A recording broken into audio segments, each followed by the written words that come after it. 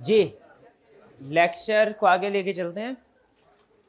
हमने अभी तक आईटी के चैप्टर में different types of control study किए हैं प्रिवेंटिव डिटेक्टिव करेक्टिव और आईटी जनरल कंट्रोल और आईटी एप्लीकेशन कंट्रोल्स अब हम आईटी जनरल कंट्रोल इसकी एग्जांपल स्टडी करेंगे, थोड़ा सा इस कंसेप्ट को डिटेल में स्टडी करेंगे। और फिर आईटी एप्लीकेशन कंट्रोल इसको थोड़ा सा डिटेल में स्टडी करेंगे। आईटी जनरल कंट्रोल और आईटी एप्लीकेशन कंट्रोल्स पहले आपको पता है हम कौन से कंट्रोल्स को स्टडी करते हैं? जनरल कंट्रोल अच्छा आपने रीडिंग की, इसमें कोई प्रॉब्लम हो क्वेश्चन पूछना चाहते हो तो पूछ ले। समझ आ गई आपको? चलिए। आईटी जनरल कंट्रोल क्या है? जो ओवरऑल सिस्टम से रिलेट करते हैं। जनरल कंट्रोल को डिफरेंट कैटेगरीज में डिवाइड किया गया है। और हर कैटेगरी का एक अपना एरिया है। जैसे आपको याद होगा चैप्टर 12 इंटरनल कंट्रोल जो मैनुअल वाले इंटरनल कंट्रोल से ज़्यादातर सेल सिस्टम परचेज सिस्टम वगैरह, उसमें भी जब हम किसी सिस्टम को स्टडी करते थे सेल सिस्टम तो उसे कुछ डिपार्टमेंट्स में क्लासीफाई करते थे। ठीक है ना? वो वो तथा order department dispatch department invoicing या बिलिंग डिपार्टमेंट्स और अकाउंट्स डिपार्टमेंट और फिर उस डिपार्टमेंट में जो स्पेसिफिक कंट्रोल्स होते थे, हम वो स्टडी करते थे। उसी तरह आईटी जनरल कंट्रोल और आईटी एप्लीकेशन कंट्रोल में भी ऐसा ही है। ठीक है? जनरल कंट्रोल को कुछ डिपार्टमेंट्स में या कैटेगरीज में डिवाइड कर, किया गया है। और हर कैटेगरी के कुछ एग्ज़ाम्पल एग्जाम्पल्स इंतहाई आसान है, इंतहाई आसान है। टेक्निकल बिल्कुल भी नहीं है। सिर्फ़ इक्का दुक्का जगह पे जाके कुछ टेक्निकल एग्जाम्पल्स आती हैं, वरना ये इंतहाई। असल में आपने स्ट्रक्चर जहन में रखना है कि आईटी जनरल कंट्रोल है आईटी एप्लीकेशन कंट्रोल है। जनरल कंट्रोल कि जिस तरह वो सेल सिस्टम में आगे डिपार्टमेंट्स और फिर डिपार्टमेंट के लिहाज से कंट्रोल होते थे आईटी जनरल कंट्रोल में कैटेगरीज होंगी और हर कैटेगरी में कुछ कंट्रोल्स बताएगा। एप्लीकेशन कंट्रोल्स में कैटेगरीज होंगी और हर कैटेगरी में कुछ कंट्रोल्स बताएगा। स्ट्रक्चर समझ आ रहा है आपको टॉपिक का? जनरल कंट्रोल एप्लीकेशन कंट्रोल अब हम जनरल कंट्रोल्स की कैटेगरीज को पढ़ने जा रहे हैं। पहले सिर्फ़ कैटेगरी स्पेसिफिक एग्ज़ाम्पल हर कैटेगरी में बाद में। पहली कैटेगरी है development and acquisition of IT system चूँकि जनरल कंट्रोल है, इसलिए हर तरह के आईटी सिस्टम पे अप्लाई होता है कि आप कोई भी आईटी सिस्टम जब एक्वायर करें, जब कोई भी आईटी सिस्टम एक्वायर करें या इन हाउस डेवलप करें, जैसे काउंटिंग में होता है ना फिक्स एसेट को आप कंस्ट्रक्ट भी कर सकते हैं बाय भी कर सकते हैं, लेकिन ज़्यादातर क्या करते हैं? बाय कर। तो इसी तरह आईटी सिस्टम आप इन हाउस डेवलप भी कर सकते हैं खुद से, और आप एक्वायर भी कर सकते हैं रेडीमेड लेकिन ज़्यादातर क्या, आपने जहन में एग्ज़ाम्पल रखनी है एक्विजिशन की? इसमें यह कह रहा है कि आपने जब कभी कोई भी computer based information system acquire करना है, वो चाहे किसी ऑर्गेनाइजेशन का अकाउंट्स का सिस्टम हो, चाहे आपका पर्सनल मोबाइल बाय करने जा रहे हो, या चाहे उससे भी आसान एग्ज़ाम्पल कंप्यूटर कैलकुलेटर क्यों ना खरीदने जा रहे हो? आपने कोई भी आईटी सिस्टम बाय करना है तो उससे पहले इंश्योर करना है कि जो सिस्टम आप बाय कर रहे हैं, वो आपके ऑब्जेक्ट ऑब्जेक्टिव के लिहाज से कंसिस्टेंट है, उसके मुताबिक है। जैसे अगर आप आई कैप का पेपर देने के लिए कैलकुलेटर खरीदना चाहते हैं तो ऑब्जेक्टिव के लिहाज से वही कैलकुलेटर बाय करना है जो परमिसिबल होगा। लेकिन अगर आप सी एफ़ ए का पेपर देने के लिए जा रहे हैं तो उसमें आई कैप वाला कैलकुलेटर नहीं चलता। उनकी अपनी रिकमेंडेड लिस्ट है। तो आपने कोई भी अगर कैलकुलेटर या कोई भी इंफॉर्मेशन सिस्टम बाय करना है, अपने ऑब्जेक्टिव के लिहाज से कंसिस्टेंट होना चाहिए। एग्री करते हैं? प्रैक्टिस में जो आईटी सिस्टम यूज़ होते हैं ना मैन्युफैक्चरिंग कंपनीज़ के लिए डिफरेंट होते हैं यूज़ रिटेल सेक्टर के लिए डिफरेंट होते हैं। सर्विस सेक्टर के लिए डिफरेंट है। बल्कि इवन अब तो स्पेसिफिकली कॉलेजेस के लिए भी आपने देखा होगा कभी बाजू का स्पेसिफिक सिस्टम होते हैं। जिनमें स्टूडेंट का रिकॉर्ड टेस्टिंग का रिकॉर्ड फ़ीस का, ये सारी चीज़ें होती हैं। आम मैन्युफैक्चरिंग बिज़नेस में चीज़ें नहीं होती। तो आईटी सिस्टम हर सेक्टर के लिहाज से डिफरेंट है। पहली चीज़ आपको ये सिखा रहा है कि जब भी आपने कोई आईटी सिस्टम एक्वायर करना है, अपना ऑब्जेक्टिव डिसाइड करें, उसके साथ जो कंसिस्टेंट है मैच होता है आईटी सिस्टम वही बाय करें। Development and acquisition of IT system category है। इसमें मेन ऑब्जेक्टिव क्या है रूल क्या है? To ensure computer based information system and application are या acquired in consistency with entities objective इसमें इसको अंडरलाइन करें। इनकंसिस्टेंसी विद एंटिटीज ऑब्जेक्टिव उसके मुताबिक होना चाहिए। एग्री करते हैं जी? आगे चले। ये बेसिकली आपको बताएगा, इसमें जो एग्जांपल्स होगी, ऐसे कंट्रोल्स होंगी, ऐसे कंट्रोल की जो आपने कोई सिस्टम बाय करते हुए, खरीदते हुए जिनका ध्यान रखना है। ठीक है? फिर इसके बाद दूसरी category documentation and testing of changes to program ऐसा शाजो नादिर ही होता है कि कोई सिस्टम आपने बाय किया हो मार्केट से और एज इट इज़ ही उसको चलाते रहे। नहीं, थोड़ी बहुत कस्टमाइजेशन की ज़रूरत पड़ती है। कुछ चेंजेस की ज़रूरत पड़ती है। क्योंकि हो सकता है हमने जो बाय किया हो, उसमें सिर्फ़ कैश सेल की ऑप्शन हो। हम क्रेडिट सेल भी देना चाह, करना चाहते हो? हो सकती है। या जो हमने बाय किया है, उसमें क्रेडिट सेल की ऑप्शन तो है, लेकिन सिर्फ़ थर्टी डेज़ हम उसको फोर्टी फाइव डेज़ करना चाहते हैं। क्या जो सिस्टम आपने एक्वायर कर लिया ऊपर पहले स्टेप में, पहली कैटेगरी में, उसको चेंज करने की ज़रूरत पेश आ सकती है? तो वो जो चेंज है, उसके ऊपर भी कंट्रोल होने चाहिए कि नहीं होने चाहिए? दूसरी कैटेगरी इसी से रिलेट करती है। Documentation and testing of changes to program वो program program means information system soft जो आपने बाय किया है ऊपर, अगर उसमें कुछ चेंजेस करने की ज़रूरत पड़ती है तो उस चेंजेस के ऊपर भी कंट्रोल्स होने चाहिए। इसे कह रहे हैं documentation and testing of changes यानी to ensure proper development documentation testing training and approval of program changes इसमें जो सबसे अहम लफज है वो प्रोग्राम चेंजेस है। ठीक है? कि इसमें जो रेलिवेंट कंट्रोल्स हैं, ये ये कंट्रोल्स की डेफिनेशन अगर आपको ये समझ आ गया ना तो कंट्रोल्स भी समझ आ गया। कंट्रोल्स में यही चीज़ें यूज़ करेगा। पहली कैटेगरी में क्या समझाया उसने? जनरल कंट्रोल की? कि आपने अपने ऑब्जेक्टिव के, जब कंट्रोल जब सिस्टम को खरीद रहे होना होता है, किन चीज़ों का ध्यान रखना है? कौन से कंट्रोल दूसरी चीज़ क्या समझाई? खरीद के ले आए बिज़नेस में, उसमें कुछ चेंजेस करनी है तो क्या करना? अच्छा एक होता है कि हमने मैनेजमेंट ने चेंजेस करनी है। क्या उनके ऊपर कोई कंट्रोल होने चाहिए? एक मिलता जुलता लेकिन अपोजिट कंसेप्ट है। गौर से सुनिएगा। मैनेजमेंट की तरफ़ से जो चेंजेस इंट्रोड्यूस करवाए गई हों, उनके ऊपर भी बकायदा कंट्रोल सिस्टम होना चाहिए। और अगर कोई हैकर उसमें अनऑथोराइज चेंज करने की कोशिश करे तो उसके ऊपर भी कंट्रोल होने चाहिए कि नहीं? लेकिन दोनों चेंजेस में फ़र्क है। एक है कि ऑथोराइज चेंज कैसे इंप्लीमेंट करनी है। एक है अनऑथोराइज चेंज को कैसे रोकना है। क्या उसको भी रोकना चाहिए? वरना हो सकता है कि हैकर जो है वो हमारे सिस्टम को हैक करे टर्म्स को चेंज कर रहे और फिर सेल बाजू का ऐसे होता है हैकर्स किसी अमेजोन साइट को हैक किया, उसके ऊपर जो प्राइसेस आ रही थी, उसको चेंज करके अगर हंड्रेड डॉलर है, उसको वन डॉलर कर लिया और उसी वक्त हज़ार आइटम्स का ऑर्डर दे दिया। इस तरह के मिलते जुलते फ्रॉड करते रहते हैं हैकर्स बाज़ात इंटरनल लोग भी फ्रॉड करते हैं। आप नहीं ना समझे हैकर बाहर की दुनिया में होते हैं। हैकर कंपनी के अंदर भी होते हैं। पेरोल डिपार्टमेंट पेरोल एप्लीकेशन थी। उसमें एम्प्लाई ने उसको हैक किया और उसमें जो नंबर ऑफ़ आवर्स थे उसके थे 200 उसमें एक ज़ीरो एक्स्ट्रा डाल दिया। 2000 का सिर्फ़ इतना। अब देखिए एक्सेस मिल जाए ना तो थोड़ा सा चेंज भी बताना चाह रहा हूँ। मटीरियल इंपैक्ट हो सकता उसका। तो तीन चीज़ें हो गई जनरल कंट्रोल में, तीन चीज़ें। देखिए कंसेप्ट समझना है, मैं एग्जांपल छुट्टियों में जाएँगी। कंसेप्ट समझ जनरल कंट्रोल और एप्लीकेशन कंट्रोल है, पहले क्या पढ़ना है? जनरल कंट्रोल जनरल कंट्रोल पहली कैटेगरी क्या? एक्विजिशन पे। दूसरी क्या है? चेंजेस कैसे करनी है? तीसरी चीज़ अनऑथोराइज चेंजेस को प्रिवेंट कैसे करना है? ठीक है? तो documentation and testing of changes to program ये कौन सा है?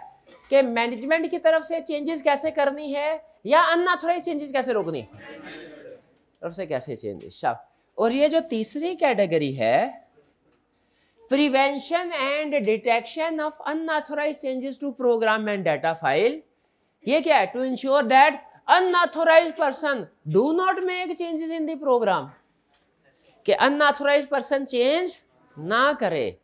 भाई स्टूडेंट कंफ्यूज होते हैं। प्यारे भाई, ना, भाई, बस कर दो यार। बस कर दे मेरा भाई, करुण अर्जुन।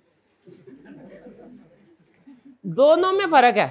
पहले पहले स्टूडेंट कंफ्यूज किस वजह से सेकंड और थर्ड में दोनों में चेंजेस आ रहा है। कहते सर, दोनों में फ़र्क नहीं समझ आ रहा। दोनों में ही प्रोग्राम चेंजेस है। फ़र्क नहीं है। तो सेकंड वाला क्या है? ऑथोराइज चेंज कैसे करना है? थर्ड वाला क्या है? अनऑथोराइज चेंज से कैसे बचना है? समझ आया दोनों? Fourth using correct version of program and data files देखिए डिफरेंट वर्जन होते हैं, बल्कि आप तो सॉफ्टवेयर को जो ज़्यादा इस्तेमाल करते हैं, उनको अंदाज़ा होगा सॉफ्टवेयर के डिफरेंट वर्जन होते हैं।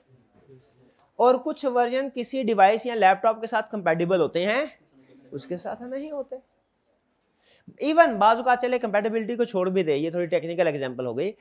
अगर आप टैक्स एप्लीकेशन की बात करें ना तो ऑर्गेनाइजेशन में एम्प्लॉयज़ का टैक्स आपके ख्याल में हर एम्प्लॉय का जो टैक्स कैलकुलेट होता है, आपको तो ये कॉपी पेंसिल देके कैलकुलेटर देके कहते हैं ना टैक्स कैलकुलेट करो टैक्स वाले पेपर में। आपके ख्याल में प्रैक्टिकली कैसे होता होगा? सॉफ्टवेयर बने होते हैं। और खुद ही कैलकुलेट कर लेते हैं, शाबाश। ठीक है, ये ये सारा खुआरी नहीं करनी पड़ती। पता नहीं क्योंकि क्यों, बाहर चले खैर। होता है। तो लेकिन आपको इतना अंदाज़ा होगा कि हर साल टैक्स एप्लीकेशन का जो सॉफ्टवेयर जो टैक्स एप्लीकेशन वो वर्जन चेंज होता है। अपडेट हो जाए, क्योंकि रूल चेंज हो जाते हैं। तो अगर ऑर्गेनाइजेशन में बहुत से वर्जन पिछले पाँच सालों का वर्जन अवेलेबल है टैक्स एप्लीकेशन का तो करेक्ट वर्जन यूज़ करना चाहिए कि नहीं? आप कहेंगे, सर, ये तो बहुत आसान है, बाकी चार साइड पे कर दें या वो डिलीट कर दें, इस्तेमाल जो नहीं होने। एग्ज़ाम्पल दे रहा हूँ। अगली एग्ज़ाम्पल सुने। बाजुकात ऐसे होता है कि एक ही सेल इसी साल की सेल्स है। सुबह के टाइम पे कोई और एप्लीकेशन वर्जन चेंज यूज़ हो रहा होगा, शाम के टाइम पे कोई और। अगर आपने देखा हो बाजुकात, ये जो फास्ट फ़ूड रेस्टोरेंट होते हैं, इनमें मिड नाइट डील्स होती हैं। वही बर्गर आप साढ़े ग्यारह बजे ऑर्डर करेंगे different version of sales application run होता है। और वही बारह बज के पाँच मिनट में ऑर्डर करें, और रेट बदल जाता है। ठीक है? इसी तरह बाज़ात शायद जो डिफरेंट दूसरे सेक्टर्स हैं, जैसे मैंने सुना था, मैं एक्सपीरियंस नहीं किया, शायद आप कोई कंफर्म कर सके कि जो हमारे किसान भाई हैं, वो ट्यूबवेल वगैरह यूज़ करते हैं, उसकी इलेक्ट्रिसिटी के भी डिफरेंट स्लैब होते हैं। वो इवनिंग तक यूज़ करें तो वो रेट है, और शाम पाँच बजे के बाद यूज़ करें तो पी काश का रेट है। तो वो क्या है बेसिकली वो डिफरेंट वर्जन रन हो रहे होते हैं। उसमें बता दिया जाता है कि इस टाइम पे, इस टाइम तक ये वर्जन तो यही आपको ये बता रहा है कि अगर आपकी ऑर्गेनाइजेशन ऐसी है जिसमें सेल्स में या किसी और में, अब एप्लीकेशन पेरोल एप्लीकेशन में भी ऐसे हो सकता है। आपको पता है over normal nine to five का अलग रेट है और ओवर टाइम का मुमी तौर पर अलग रेट होता है। तो एक एम्प्लॉय जो है, अगर वो काम कर रहा है तो रेगुलर आवर्स में उसने काम किया है, वो अलग वर्जन पेरोल एप्लीकेशन का रन होगा। और बाद में किया है, शाम में तो अलग वर्जन होगा। तो अगर कुछ बिजनेसेस ऐसे होते हैं जो किसी एप्लीकेशन के डिफरेंट वर्जन रन कर रहे होते हैं, अगर ऐसा है तो हमारा कंट्रोल होना चाहिए किस चीज़ के ऊपर? Using correct version of program है डाटा फ़ाइल कह रहा है there may be several version of program at any time These controls ensure that correct version of the program is used. Clear हुआ? सेल्स एप्लीकेशन की example दी payroll की। Agree करते हैं करेक्ट वर्जन से? अगर ऐसा है आपके कंपनी का बिज़नेस ऐसा है जिसमें डिफरेंट वर्जन यूज़ होते हैं तो करेक्ट वर्जन यूज़ और लास्ट क्या है? Last category last second last access controls to prevent unauthorized access to data files. Access controls होने चाहिए। मैं सबसे अहम लफज एक्सेस कंट्रोल्स के अन हमारा जो भी आईटी रिसोर्सेज हैं, जिसमें हार्डवेयर भी शामिल है सॉफ्टवेयर भी शामिल है, उस पर अनऑथोराइज पर्सन की एक्सेस ना हो। और ये चूँकि हमारे आईटी सिस्टम में रिसोर्सेज दो तरह के होते हैं ना तो एक्सेस भी दो तरह की होती है। एक हमारा होता है हार्डवेयर, एक होता है सॉफ्टवेयर। हार्डवेयर के लिए होते हैं फ़िज़िकल एक्सेस क्योंकि हमारे अंदर सोर्सेज को हाथ ना लगा सके। ये फ़िज़िकल एक्सेस लेकिन बाजुकात चोरी करने के लिए फिजिकली उस जगह पे मौजूद होना ज़रूरी नहीं है। अगर कोई पर्सन हमारे बैंक अकाउंट में से पैसे चोरी करना चाहता है तो फिजिकली उसे हमारे बैंक अकाउंट में नहीं जाना पड़ेगा। वो हो सकता है किसी दूसरे मुल्क में बैठा हो। हमारे user name password account hack करके पैसे ट्रांसफ़र कर ले। तो जो एक्सेस कंट्रोल्स हैं, ये दोनों तरह से रिलेट करते हैं। नंबर वन हमारे कंप्यूटर सिस्टम में जो फ़िज़िकल रिसोर्सेज हैं, उन पे भी एक्सेस नहीं होनी चाहिए। उनको भी कोई हाथ ना लगा सके। और जो हमारे इनटेंजिबल रिसोर्सेज हैं, जैसे सॉफ्टवेयर डाटा इनको भी कोई हाथ ना लगा सके। फ़िज़िकल रोकने के लिए एक्सेस रोकने के लिए कंट्रोल होते हैं फ़िज़िकल एक्सेस कंट्रोल और जो इनटेंजिबल रिसोर्सेज को प्रोटेक्ट करने के लिए कंट्रोल यूज़ होते हैं, उन्हें कहते हैं लॉजिकल एक्सेस कंट्रोल तो अब बताइए क्या कंट्रोल्स होने चाहिए? बिल्कुल हाँ। अच्छा मैं दो एग्जांपल्स आपके सामने रखता हूँ. नंबर वन अगर आप जो सेकंड फ्लोर पे या थर्ड फ्लोर है गालबन वहाँ पे जाएँ कॉलेज के ऑनलाइन टीम बैठी हुई है। ठीक है जी? वहाँ पे जब आप जाते हैं तो जो सर्वर रूम है ना, वहाँ पे एंट्री प्रोहिबिटेड है किसी के भी। इवन स्टाफ के लोग भी उधर नहीं जाते, अमूमी तौर पे। ठीक है? हाँ बाहर दूसरी टीम बैठी हुई है, कोई भी कंप्लेन हो स्टूडेंट्स की, वो टीम डील करती है। ये कंट्रोल क्या होना चाहिए? कौन सा कंट्रोल है? फ़िज़िकल एक्सेस कंट्रोल के logical access physical access control और सिस्टम को कोई अनऑथोराइज पर्सन एक्सेस ना कर। अब देखें, अगर सिस्टम में डिस्टर्बेंस क्रिएट करनी है ना, अभी पिछले दिनों हुई थी कुछ घंटों के लिए। वो कुछ ना कुछ ट्राई करते रहते हैं और मुझे नहीं पता आईटी की फ़ील्ड का, वो कुछ ना कुछ पासवर्ड लगा के वायरस ऐड कर देते हैं। फिर वो सारे को ख़त्म करके बैकअप से रिस्टोर किया था। उसमें चार पाँच घंटे लग गए थे। एल एम एस उस में अवेलेबल नहीं था। अब अगर कोई बंदा ये करना चाहता है कि सिस्टम को एक्सेस करके डिस्ट्रॉय करना चाहता है या डाटा उसमें से चोरी करना चाहता है या कुछ और, उसके लिए क्या उसे फिजिकली आने की ज़रूरत है? नहीं। वो उन्होंने किसी दूसरे शहर में बैठ के तो वहाँ से सिस्टम को एक्सेस किया। अब उसके लिए स्ट्रॉन्ग उसके बाद कंट्रोल क्या हुआ? Strong password two factor authentication इस तरह के कंट्रोल लगाए गए। ये कौन सा कंट्रोल है? ये फिजिकली आने से नहीं रोकेंगे, ये है लॉजिकल एक्सेस कंट्रोल तो बताइए क्या आईटी सिस्टम के अंदर एक्सेस कंट्रोल्स होने चाहिए ताकि अनऑथोराइज पर्सन एक्सेस ना कर सके डाटा फाइल्स को और इंक्लूडिंग कंप्यूटर सिस्टम को भी? एक्सेस कंट्रोल्स तो कौन से वाले फ़िज़िकल वाले होने चाहिए कि लॉजिकल दोनों ही होने चाहिए। डन अभी तक बताइए फिर जो हमने एप्लीकेशन कंट्रोल स्टडी किए हैं, कितनी कैटेगरी सबसे पहला कंट्रोल क्या था? डेवलपमेंट एंड एक्विजिशन के ऊपर जो सिस्टम भी हमने खरीदना है, अरबों की इन्वेस्टमेंट होती है, बाजुकात, अरबों की इन्वेस्टमेंट होती है, बाजुकात। वो हमने ऑब्जेक्टिव के मुताबिक खरीदना है। ठीक है? और दूसरे नंबर पे चेंजेस टू प्रोग्राम ऑथोराइज हो। अनऑथोराइज को प्रिवेंट करना है करेक्ट वर्जन यूज़ करना है एक्सेस कंट्रोल देखिए, ये पाँच कंट्रोल है। ये सारे कंट्रोल चलते रहे ना, बहुत ही अच्छा ज़िंदगी ऐसे ही गुजर जाए तो अच्छी है। लेकिन सम टाइम ऐसा होता है, वो जैसे एक और कहावत है कि उम्मीद अच्छे की करनी चाहिए, लेकिन बुरे के लिए तैयार भी रहना चाहिए। क्या हो अगर हमारे एक्सेस कंट्रोल भाई बस कर दे यार, मैं तीसरी चौथी था तो इशारा किया मेरा, भाई इशारा भी नहीं समझता मेरा।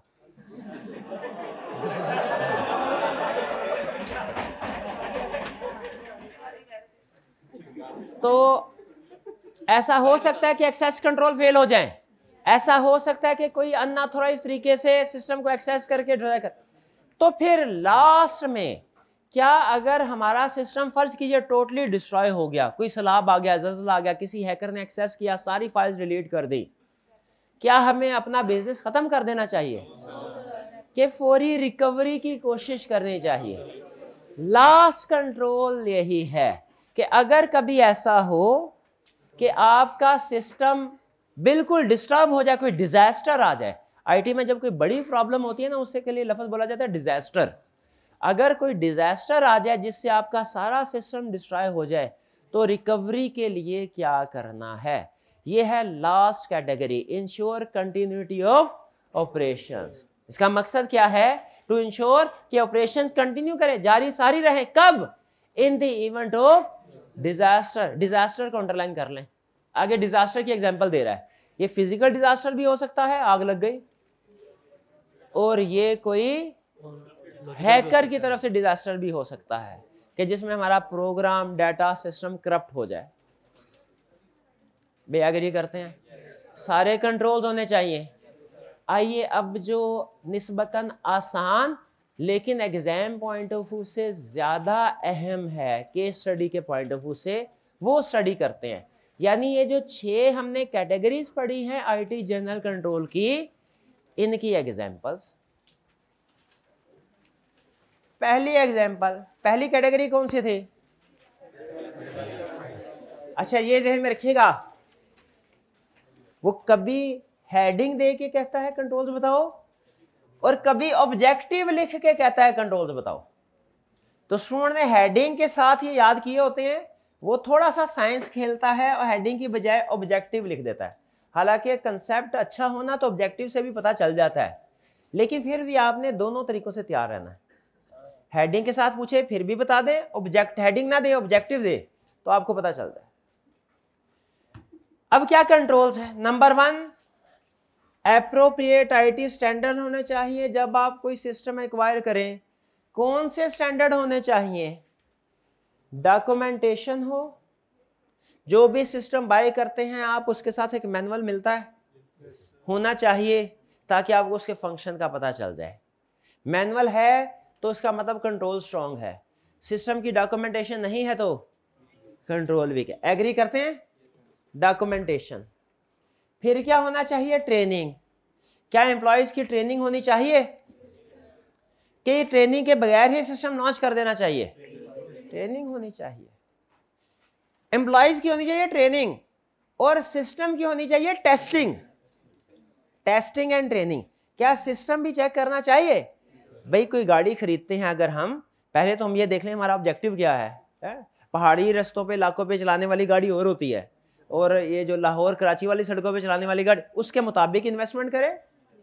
फिर उसके बाद डॉक्यूमेंटेशन हो उसमें, पता चले फ़ंक्शन क्या क्या है। फिर उसकी टेस्टिंग टेस्ट ड्राइव करते हैं ना कैसी चलती है गाड़ी?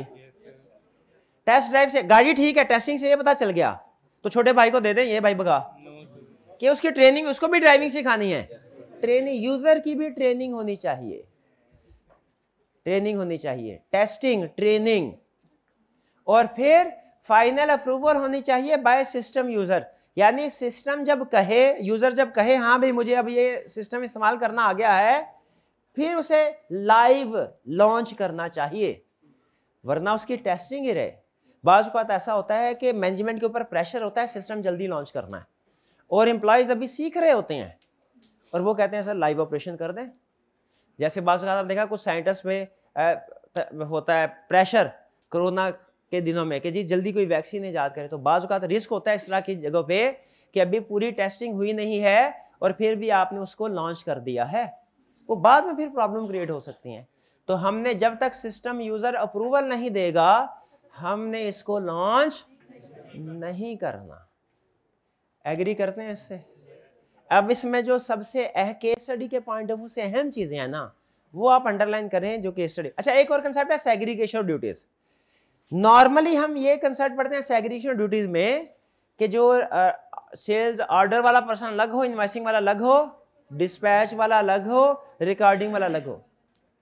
आईटी सिस्टम में सेग्रीगेशन और ड्यूटीज़ दो लोगों के दरमियान में होती है। नंबर वन जो सिस्टम का डिज़ाइनर है, जो प्रोग्रामर है, जिसने सिस्टम बनाया है वो, और जो सिस्टम यूज़र है। यूज़र में और प्रोग्रामर में सेग्रीगेशन ऑफ़ ड्यूटीज़ होनी चाहिए। क्यों? क्योंकि यूज़र ही प्रोग्रामर होगा ना, उसे पता होगा। वो जब चाहेगा, चेंज कर देगा। डिपार्टमेंटल स्टोर पे जो सेल्स एप्लीकेशन वाला बंदा बैठा हुआ जिसका काम है स्कैन करके बिल बनाना, अगर उसे, उससे सिर्फ़ इतनी एक्सेस दी गई है कि वो क्वांटिटी को चेंज करे। आप कभी नोट करें प्राइस को चेंज करने की एक्सेस उसके पास नहीं होती। उसका क्लिक भी करे ना क्लिक नहीं होता।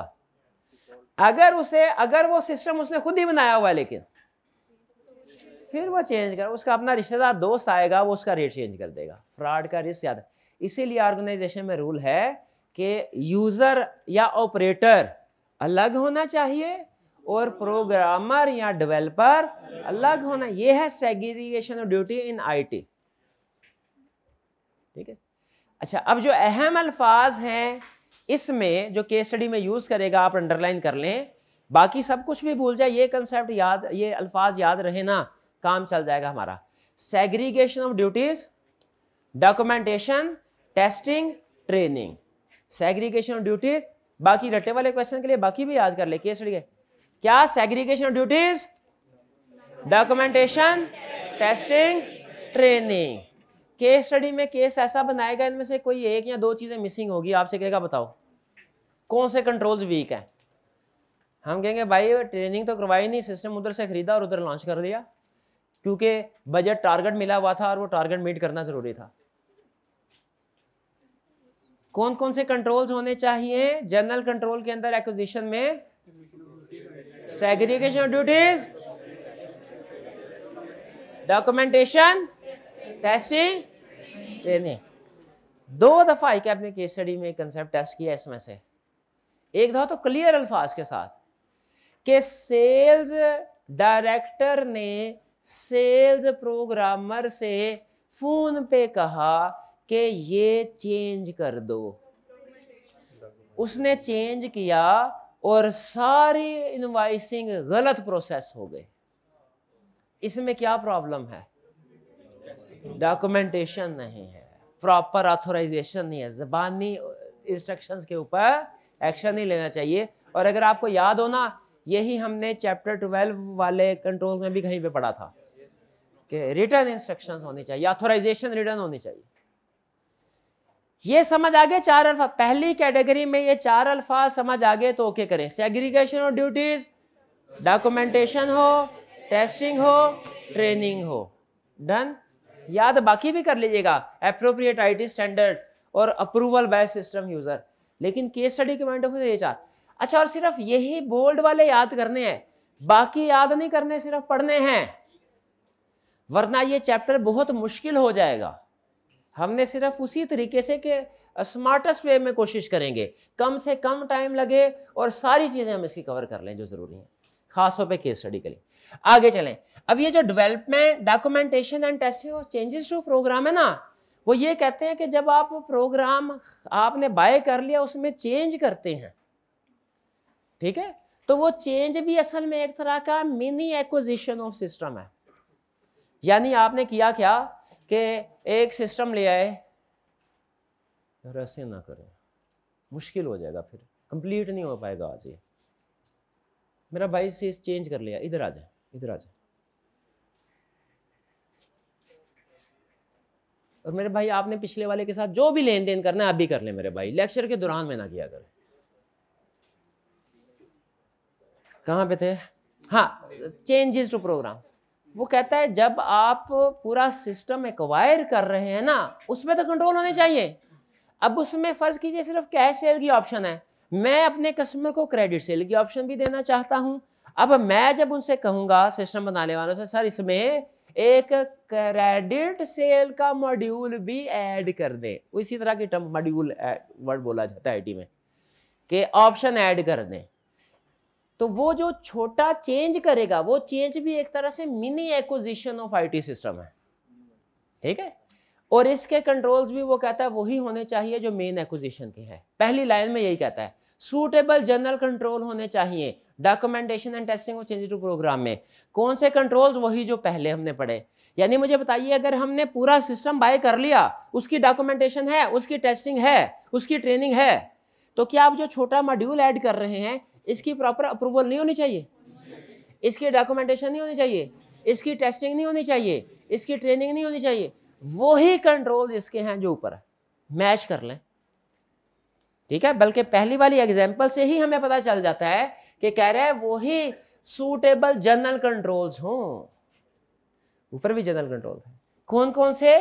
डॉक्यूमेंटेशन हो टेस्टिंग हो ट्रेनिंग हो अप्रूवल हो।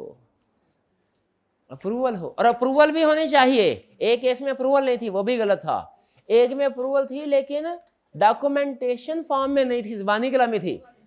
वो भी ये याद रखिएगा। भाई, याद हो गए? सिर्फ़ यही अल्फाज याद करने हैं, बाकी पूरा सेंटेंस याद नहीं करना, सिर्फ़ पढ़ना है तीन चार दफ़ा। कंसेप्ट ऐसे अल्फाज से ही बिल्ड होते हैं। दो कैटेगरी हो गई। जनरल कंट्रोल था एप्लीकेशन कंट्रोल था।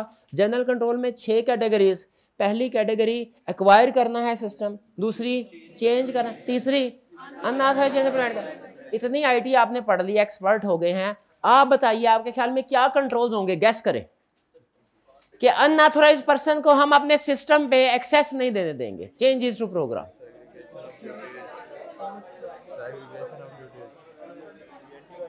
antivirus password लगा देने चाहिए। ठीक है ठीक है। मैं मैं बिल्कुल आप सही डायरेक्शन में पहुँच गए। इसके देखते हैं एग्जांपल्स क्या देता है। पहली example there should be segregation of duty ये क्यों लिखा? क्योंकि, जजाकल्ला भाई क्योंकि अगर प्रोग्रामर ही यूज़र होगा तो क्या करेगा? चेंज कर क्विकली यहाँ पे एक, हमेशा मुझे एग्जांपल याद आती है बैंकिंग सेक्टर की। एक बैंक ने सॉफ्टवेयर बनाना था इंटरेस्ट बैंक में आपको पता है सबसे बड़ी एक्टिविटी होती है डिपॉजिट और लैंडिंग और उसके ऊपर हर महीने उन्होंने इंटरेस्ट कैलकुलेट करना होता है। तो बैंक ने कहा मैनुअली यार इंटरेस्ट कैलकुलेट करते हैं, बड़ा टाइम लग जाता है स्टाफ भी ज़्यादा चाहिए होता है, गलतियाँ भी बाजुकात हो जाती है। तो कोई ना कोई आईटी सिस्टम बाय करते हैं। तो उधर एक बंदा था प्रोग्रामर उसका दोस्त था, उसने कहा अच्छा ऐसी क्या ज़रूरत है? ऐसा कर, जैसे समझ लें ब्रांच मैनेजर ही था एक। उसने हेड ऑफ़िस वालों से कहा, सर, मैंने एमबीए किया हुआ है, मैंने आईटी के कोर्स भी किए हुए हैं। आप बाहर से लेंगे, मैं आपका बंदा, मैं फ्री में आपको सॉफ्टवेयर बना के देता हूँ। इंटरेस्ट कैलकुलेशन का हेड ऑफ़िस का, शाबाश, बहुत अच्छे बनाओ। उन्होंने कहा बच गए दस, पंद्रह, बीस हज़ार रुपये बच गए। है? उसने हाँ ज़्यादा निकले, अब देखिएगा निकले कैसे। उसने कहा सॉफ्टवेयर बनाया सॉफ्टवेयर बन गया, साल हर साल तक चलता रहा। उसने किया क्या था? एक कमांड हिडन इंस्ट्रक्शन दे दी थी। प्रोग्राम कोड होता है ना कोड वो आप आईटी के में जो चल रहे होता है, पीछे कोड वह बड़े ध्यान से देखना पड़ता है उसको। उसने कोड में एक इंस्ट्रक्शन इनपुट की थी कि जब भी इंटरेस्ट कैलकुलेट करो इंटरेस्ट सही कैलकुलेट करो। अगर किसी का इंटरेस्ट हुआ ना two seventy three point five six तो तुमने two seventy three point five six expense record करना है बैंक का। लेकिन जब कस्टमर के अकाउंट में डालना है ना तो जो पॉइंट्स के बाद वाली फिगर है फाइव सिक्स वो नहीं राउंडेड फिगर डालना। जैसे 273.56 है तो 273 क्रेडिट करना है कस्टमर के अकाउंट पॉइंट फाइव सिक्स मेरा एक हिडन अकाउंट है। उसमें क्रेडिट कर दो। और उस हिडन अकाउंट का उसने एटीएम कार्ड भी बनवाया हुआ था। अब हर मंथ एंड के ऊपर जब ये सिस्टम रन होता था तो हर ब्रांच में जितने भी आप अंदाज़ा लगा सकते हैं कि कितने परसेंट ये यूएसए का केस है डॉलर में अमाउंट थी रुपीज़ में। रुपीज़ में आपको लगा सर, थोड़े से पैसे हैं। डॉलर में अमाउंट थी और फिर हर एक ब्रांच के हज़ारों कस्टमर सैकड़ों कस्टमर तो होते ही हैं। बड़े पाकिस्तान में थोड़े हैं कि दस, बारह, पंद्रह, बीस होंगे। इकोनॉमिक एक्टिविटी ज़्यादा ज़्यादा कस्टमर होते हैं। और फिर एक महीने मल्टीप्लाई बाय ट्वेल्व करें और फिर ये सिस्टम पूरी ब्रांच में लगा, पूरे बैंक में लगा। पूरी चेंज में। वो पाँच, सात सौ तो उसकी ब्रांचेस कम से कम थी। मिलियंस ऑफ़ डॉलर हर साल फ्रॉड होता रहा, कई साल साल तक। किसी को पता ही नहीं चला कि हिडन अकाउंट भी है। क्योंकि देखिए, जब ट्रायल बैलेंस निकालते थे, वो तो टैली होता था। पकड़ा कैसे? अब ये देखिए इसमें प्रॉब्लम क्या है? जो यूज़र है वो ही डिज़ाइनर प्रोग्रामर था। हालाँकि थोड़ा सा पैसा खर्च करके बाहर के बंदे से करवा लेते ना, उसके पास एक्सेस ही ना होती इसको चेंज करने की। एक दफ़ा कोई प्रॉब्लम आ गई सिस्टम में और सॉफ्टवेयर के अंदर उसने डिसाइड किया उस महीने कि हम ट्रायल बैलेंस मैनुअली बनाएँगे। मैनुअली ट्रायल बैलेंस बनाया था, वो जो हिडन सीक्रेट अकाउंट था, क्या वो उन्होंने ऐड किया होगा? नहीं किया, वो टैली ना हो। पहली दफ़ा मैच किया टैली ने। कहा, शायद कोई गलती हो गई, दूसरी दफ़ा किया, तीसरे नहीं टल। फिर इन्वेस्टिगेशन शुरू हो गई एक एक ट्रांजैक्शन की। पता चला ये अमाउंट किधर जा रही है, उसे पकड़ा गया वो। तो ये सारा इसके पीछे सिर्फ़ एक हल था। थोड़े से पैसे बचा लिए हेड ऑफ़िस ने। लेकिन क्या कंट्रोल वीकनेस क्या की? यूज़र्स को ही प्रोग्रामर बना दिया। तो इसीलिए हमारे यूज़र को याद रखे प्रोग्रामर नहीं होना चाहिए। और ये भी एक अजीब सी बात है, लेकिन प्रैक्टिस में शायद कभी आपके काम आ जाए। किसी पोजीशन के ऊपर बहुत ज़्यादा हाईली क्वालिफाइड लोग नहीं रखने चाहिए। वो सिस्टम को जब ज़्यादा समझते हैं ना रिस्क ऑफ़ एरर कम हो जाता है। रिस्क ऑफ़ फ्रॉड ज़्यादा हो जाता है। तो बहुत भी ज़्यादा कॉम्पिटेंट लोग हो ना, उनको किसी दूसरी सूटेबल पोजीशन पे भिजवा देना चाहिए।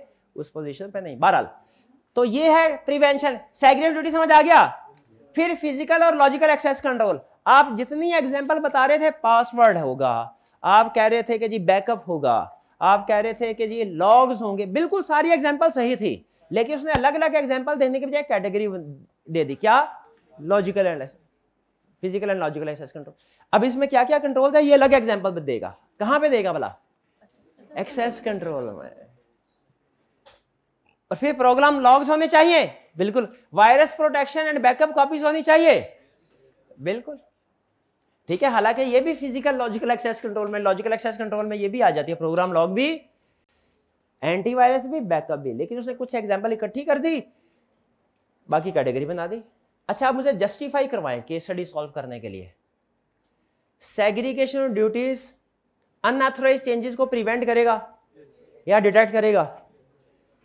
प्रोग्राम लॉग कैसे प्रिवेंट डिटेक्ट करेंगे? पता चल जाएगा किसने हमारे सिस्टम को एक्सेस किया हुआ है। वायरस प्रोटेक्शन कैसे? वायरस से प्रोटेक्ट करने के लिए हैकर्स का जो आउटसाइडर हैकर्स है ना उनका अटैक नहीं होता। ये ये वाला जो कंट्रोल है ये अंदर के एम्प्लॉय से बचने के लिए। और ये जो वायरस प्रोटेक्शन वाला है बाहर के हैकर से बचने के और बैकअप दोनों तरह के लिए कि अगर हमारे सिस्टम को एक्सेस करके करप्ट कर दें तो क्या करें? बैकअप कॉपीज हमेशा आपका कोई भी अहम काम हो उसकी बैकअप कॉपीज रखनी चाहिए और अलग लोकेशन पे रखनी चाहिए। अलग लोकेशन पे रखनी चाहिए। फर्म से मैंने सीखा था ये कंट्रोल बैकअप का। फर्म में हमारा काम होता है ना बड़ा कॉन्फिडेंशियल होता है और वैसे भी क्रिटिकल होता है। फर्म की तरफ़ से कंप्यूटर मिला था। तो मैं मेरी आदत थी मैं जितना भी डाटा फर्म का होता था डी ड्राइव पे रखता था। ई ड्राइव पे कुछ और चीज़ें होती थी मतलब स्टडी नोट्स वगैरह। तो बैकअप डी ड्राइव का बैकअप मैंने ई ड्राइव में रखा हुआ था। कितना अच्छा कंट्रोल है। एक दफ़ा हार्ड ड्राइव उड़ी। ना डी रही, ना ई e रही। बताइए कंट्रोल स्ट्रांग है कि वीक है? वीक था। क्या होना चाहिए था? दूसरे लैपटॉप दूसरी लोकेशन के ऊपर, शाबाश। प्रिवेंशन डिटेक्शन के लिए। फिर using correct version of program and data file के प्रोग्राम एंड डाटा फ़ाइल का करेक्ट वर्जन यूज़ करना चाहिए। बिल्कुल करेक्ट वर्जन भाई, कैसे इंश्योर करें? करेक्ट वर्जन यूज़ होता है। एम्प्लॉय अगर तो आपके आईटी सिस्टम ज़्यादा बड़ा नहीं है स्ट्रांग नहीं है।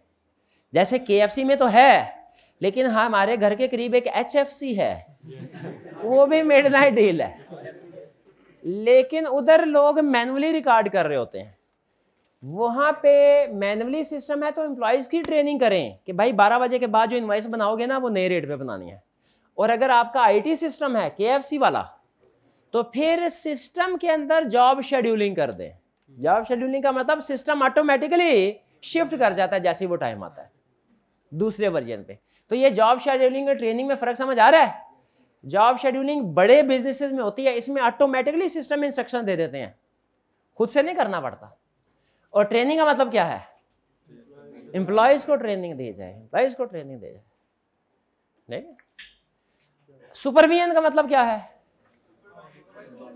कि सुपरवाइजर साथ साथ चेक करता रहे कि यार इस वक्त 11 बजे है, मैं अपने ऑफ़िस में बैठ के नीचे काउंटर पे जाके देखूँ जो इन्वाइसिस बन रही हैं, वो रेगुलर रेट पे बन रही हैं।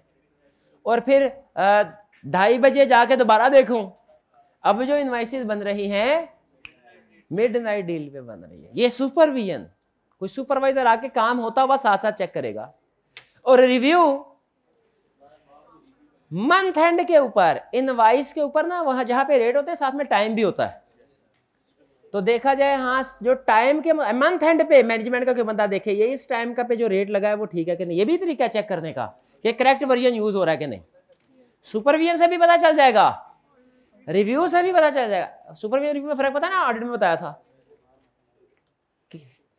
Training job scheduling supervision review इनमें फ़र्क समझ आ गया? ट्रेनिंग का मतलब मैनुअली इंप्लॉइज को ट्रेन करना सिखाना है काम। किस वक्त कौन सा सिस्टम चलाए? जॉब शेड्यूलिंग सिस्टम के अंदर बिल्ट इन कर देना। लार्ज स्केल ऑपरेशन में होता है ये। सुपरविजन साथ साथ देखिए स्टाफ सही सिस्टम रन कर रहा है कि नहीं? रिव्यू बाद में। एक्सेस कंट्रोल कि हमारे रिसोर्सेज को कोई अनऑथोराइज पर्सन ना पहुँच सके उस तक। एक्सेस कंट्रोल की दो example physical access control physical access control क्या करते हैं? हमारे टेंजिबल एसेट्स को बचाते हैं। लॉजिकल एक्सेस कंट्रोल क्या करते हैं? इनटेंजिबल एसेट फ़िज़िकल की एग्जांपल क्या है? ताला। कार सिक्योरिटी गार्ड बार बार लगा देना। तारे तारे शारे लगा देना। बिल्कुल ठीक। और ठीक है। और लॉजिकल एक्सेस कंट्रोल्स पास अलार्म भी हो सकता है फ़िज़िकल में। फायरवॉल लॉजिकल एक्सेस कंट्रोल है। पासवर्ड बिजली की तारे फ़िज़िकल एक्सेस कंट्रोल है लॉजिकल नहीं है। नहीं, क्या मतलब? लॉजिकल है क्या? बिजली की तारे फ़िज़िकल एंट्री को प्रोहिबिट करती है। हैकर को नहीं रोकेंगे। चले फ़िज़िकल में और लॉजिकल में समझ आ गया आपको फ़र्क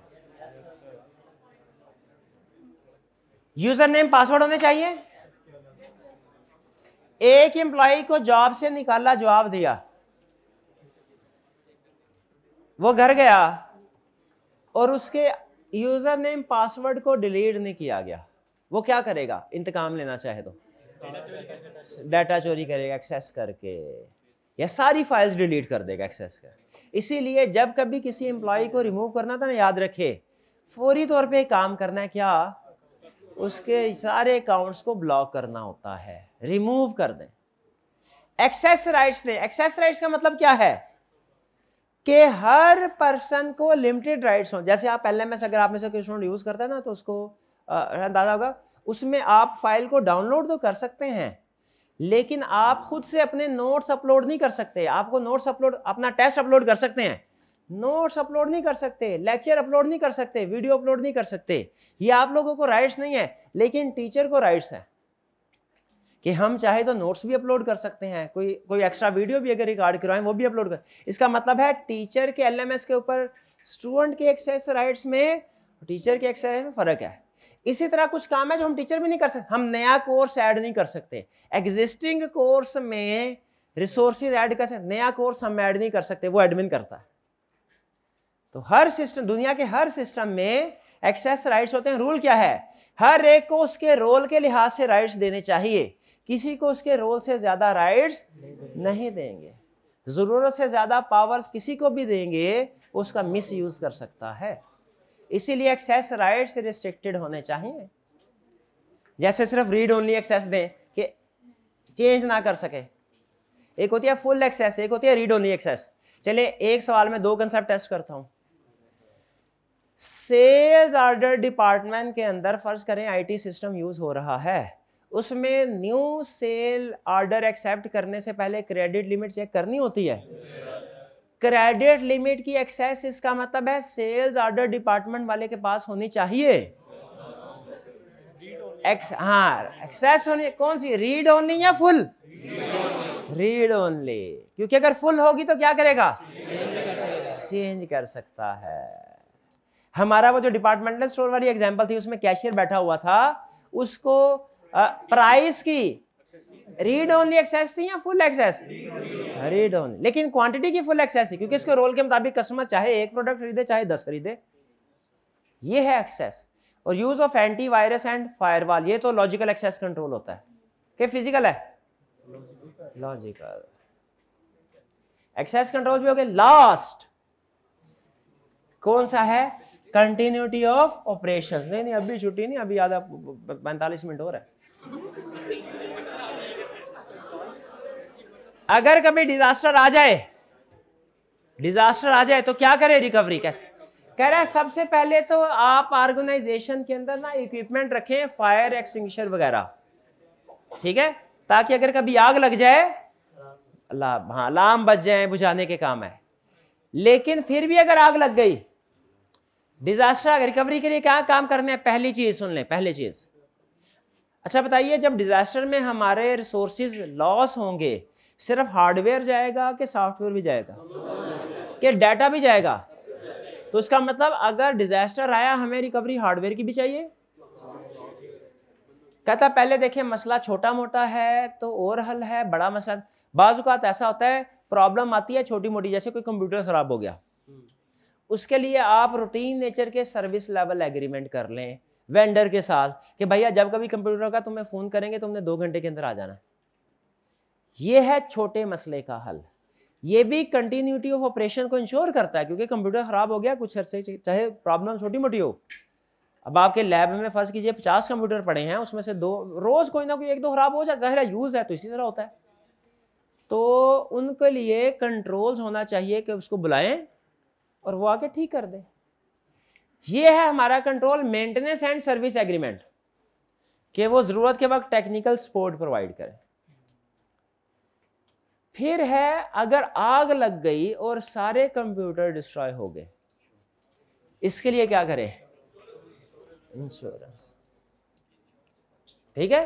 ताकि करें। लेकिन इंश्योरेंस वाले फौरी तौर पे नहीं आपको पैसे देते, तीन चार महीने लगा लेते हैं। इन तीन चार महीनों में क्या करें?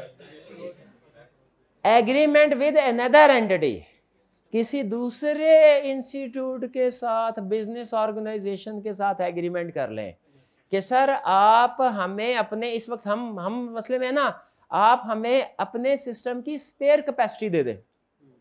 हम उसको यूज़ कर लेते हैं। आपके पास जो कंप्यूटर है एक्स्ट्रा हमें दे दे, कुछ जो थोड़े से गैर ज़रूरी हैं, ताकि हम अपना ज़रूरी काम निपटा लें। बदले में जब खुदा न हास्ता आपको ज़रूरत पड़ी अगर, हम आपको इवन कंपेटिटर कंपनीज़ आपस में इस तरह के एग्रीमेंट करती हैं। ये जो बड़े बड़े हैं, जैसे वर्ल्ड ट्रेड सेंटर है, इसकी इंश्योरेंस आपके ख्याल में क्या एक कंपनी करती होगी। एक कंपनी का इतना है नहीं अगर फिर दोबारा से उड़ गया तो वो प्रीमियम पे कर, क्या करते हैं फिर? कंपेटर कंपनीज़ होती हैं, लेकिन अपना बिज़नेस शेयर करते हैं एक दूसरे के साथ। क्योंकि इससे रिस्क भी शेयर होता है। यही कह रहे हैं कंपेटर प्रैक्टिस में कंपेटर कंपनी के साथ भी बाज़ लोग एग्रीमेंट करते हैं। चले, इससे दूसरे हमने अनदर एंटिटी के साथ एग्रीमेंट किया। इससे हार्डवेयर तो हमें मिल गए। सॉफ्टवेयर डाटा का क्या करें? बैकअप करें। क्लाउड में करें। शाबाश। क्लियर ये है हमारी एग्जांपल कंटिन्यूटी ऑफ़ ऑपरेशंस की। अच्छा सुने। अभी आपने जैसे जैसे कैटेगरी को पढ़ रहे थे ना समझ आती गई होगी ये मुझे अंदाज़ा है कोई इतनी मुश्किल चीज़ें नहीं है। लेकिन साथ ही साथ जब दूसरी कैटेगरी पे पहुँचे, पहली कैटेगरी भूल गए होंगे। तीसरी पे पहुँचे, दूसरी भूल गए। ये नेचुरल है, इसमें आपका कसूर हरगिज नहीं है। ये नेचर अब इसका तरीका कार पता क्या है? पीरियोडिक रिवीजन पाँच मिनट की ब्रेक दे रहा हूँ, करना क्या है? कुछ नहीं। सिर्फ़ छह कैटेगरीज लिखनी है। हर कैटेगरी के अंदर जो कंट्रोल की एग्जाम्पल्स हैं, सिर्फ़ दो दो, तीन तीन अल्फाज जो बोल्ड किए हुए हैं, वो लिखने हैं। लिखने लिखने हैं लिखने हैं। पाँच मिनट से ज़्यादा का टास्क नहीं है। पूरा चैप्टर क्लास में इंशाल्लाह अभी तक जितना बड़ा रिवाइज हो जाएगा। फिर से सुन ले क्या करना है। जनरल कंट्रोल में आपने कैटेगरीज और हर कैटेगरी के सिर्फ़ एग्ज़ाम्पल के कीवर्ड कीवर्ड सिर्फ़। डिटेल नहीं। देख के नहीं, जबानी। जितना हो सके, जितना हो सके। पाँच मिनट का टाइम है आपके पास। जी पॉज कीजिएगा जी। तो कुछ समझ में आया? जनरल आईटी जनरल कंट्रोल्स छह कैटेगरीज हर कैटेगरी की एग्जांपल्स अब किसकी बारी है? एप्लीकेशन एप्लीकेशन कंट्रोल्स में आपके लिए एक गुड न्यूज़ है। वो ये कि एप्लीकेशन कंट्रोल कोई भी एप्लीकेशन जब काम करती है ना वर्क करती है उसके तीन फेजेस होते हैं।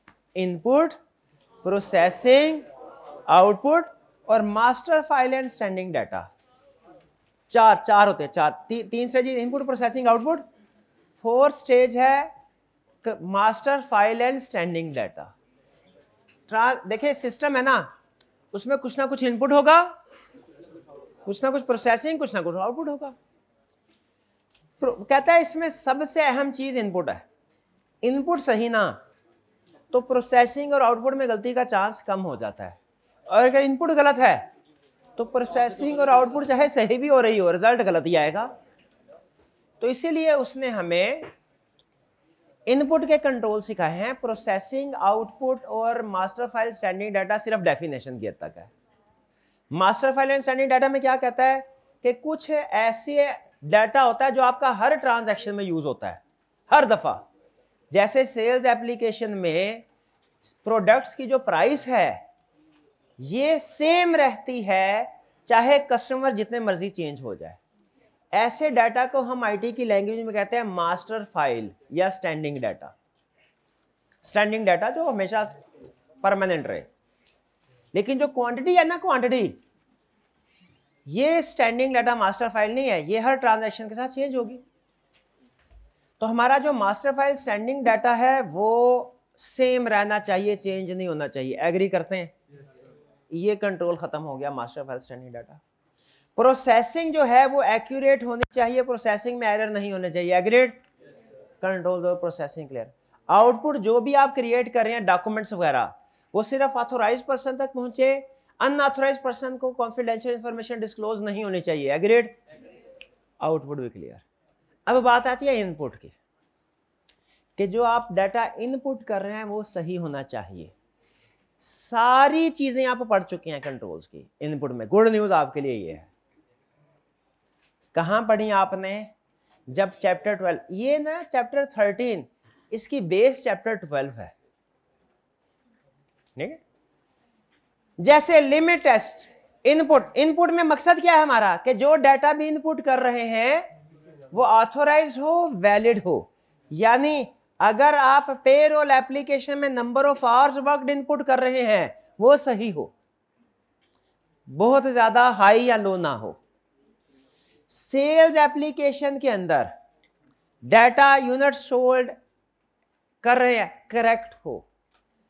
परचेज एप्लीकेशन के अंदर डाटा सारा करेक्ट हो। इनपुट कर रहे हैं। ये है इनपुट कंट्रोल का मकसद। पहला कंट्रोल क्या है? टाइप लिमिट टेस्ट और लिमिट चेक।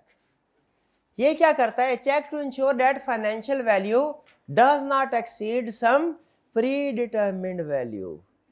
क्या सेल्स सिस्टम के अंदर ये कंट्रोल होना चाहिए कि जो सेल्स ऑर्डर की अमाउंट है क्रेडिट लिमिट से एक्सीड नहीं होनी चाहिए। तो एक, वैसे तो मैनुअली कंट्रोल भी लगाया जा सकता है कि उधर जो सेल्स ऑर्डर अप्रूव कर रहा है, वो हर कस्टमर की पहले क्रेडिट लिमिट देखे, अगर ऑर्डर की लिमिट उस लिमिट से एक्सीड कर या रिजेक्ट कर दे। लेकिन सिस्टम में भी तो ये फ़ील्ड इनपुट की जा सकती है कि ये जो सेल्स ऑर्डर की अमाउंट है ना, जब हम एंटर करें तो इंश्योर करें कि ये अमाउंट क्रेडिट लिमिट से एक्सीड ना अगर यही फार्मूला हम सिस्टम में लगा दें, इसे कहेंगे ये है लिमिट चेक ये क्या है? लिमिट चेक के हमारे इस सेल की, इस फ़ील्ड की, ये जो कॉलम है, इसकी वैल्यू एक सर्टन लिमिट से एक्सीड ना करे। लेकिन आपको एक इंटरेस्टिंग फैक्ट बताता हूँ। एक है लिमिट टेस्ट एक है रेंज टेस्ट इसे रीजनेबल टेस्ट भी कहते हैं। Limit test range test ensure करेगा कि एक मिनिमम लेवल से नीचे ना जाए अमाउंट और मैक्सिमम से ऊपर ना जाए। यानी रेंज टेस्ट दोनों एंड पे काम करता है लोअर एंड पे भी अपर एंड पे भी। लेकिन जो लिमिट टेस्ट है, वो या तो सिर्फ़ अपर एंड पे काम करेगा या सिर्फ़ लोअर एंड पे काम करेगा।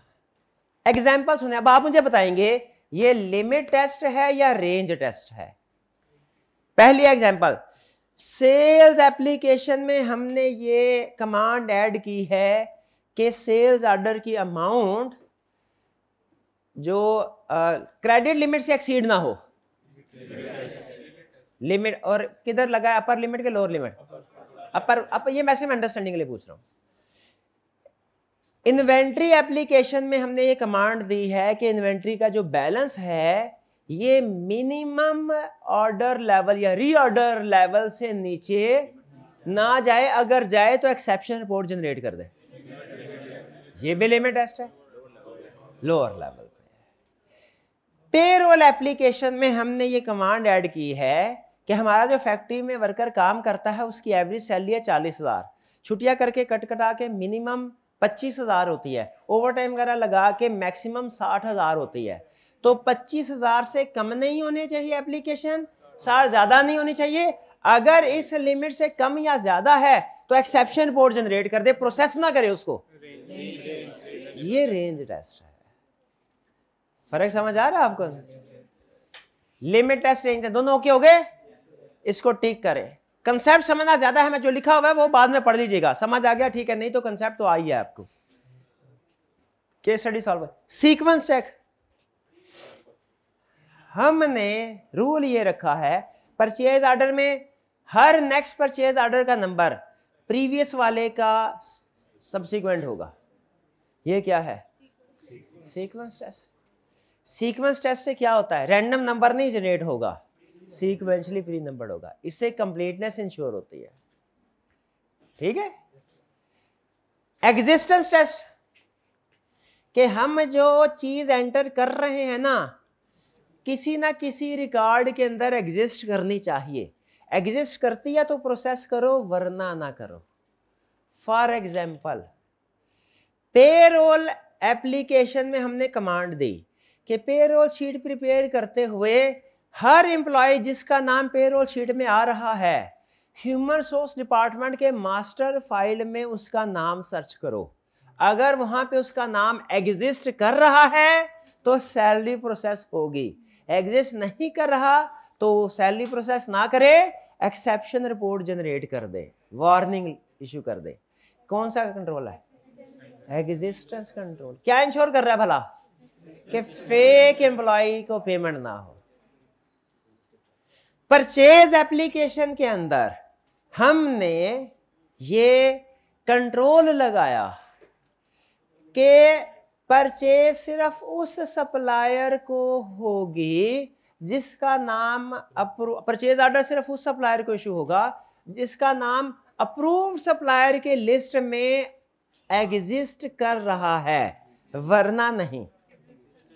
एग्जिस्टेंस है। जो क्या इंश्योर कर रहा है कि परचेज हमेशा अप्रूव्ड सप्लायर से हो, है ना control existence control sales application में कंट्रोल लगाया